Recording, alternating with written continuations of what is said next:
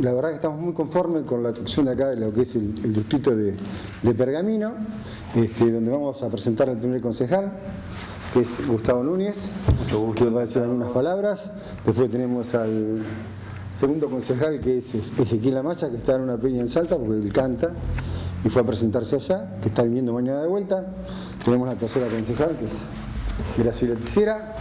El cuarto concejal, que es licenciado en seguridad, comisario y inspector retirado de la Policía Federal. Este, tenemos al señor Dueñas, ¿dónde anda por acá? Ah, ¿Cómo te va? Que es el quinto concejal.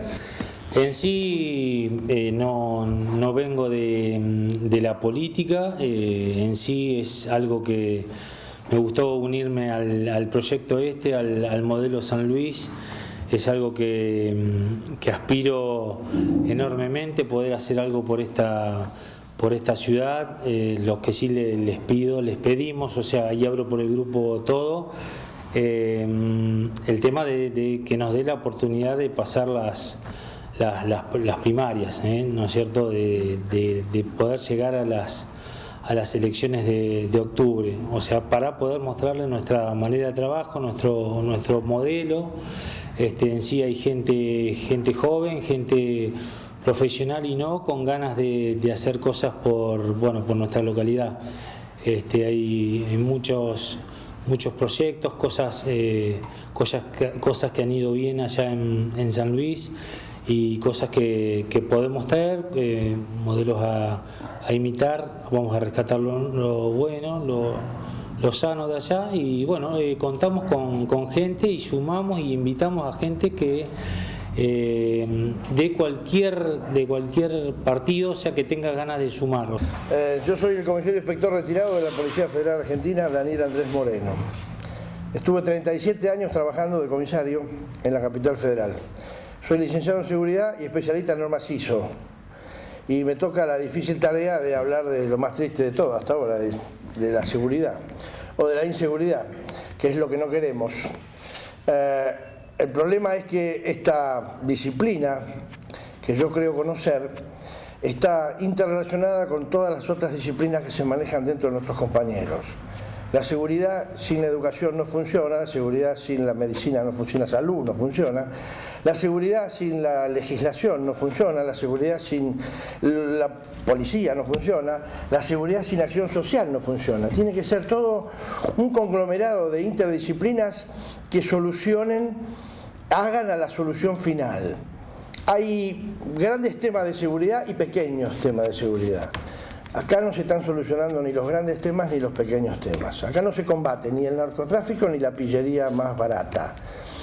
Todavía, todavía no están arribando determinados delitos que mutan desde los centros urbanos más, este, más este, eh, poblados, como puede ser Buenos Aires o el, conurbano bonaerense, todavía no están llegando algunos. ¿eh?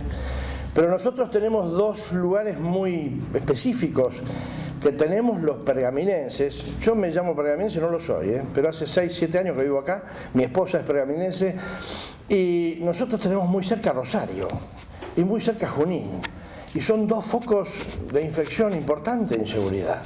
Como mujer en esta lista, eh, quiero mm, dirigirme a todas las compañeras eh, municipales, a todos los ciudadanos que me conocen a través de la historia mía, personal, eh, en lo político, en lo madre que eh, vengo siendo como madre sola eh, después de quedar viuda y que sigo en la lucha del trabajo hacia las mujeres que por ahí están desprotegidas en cuanto a la insertación social que debe haber en las empresas, en las industrias, las mujeres mayores de 40 años.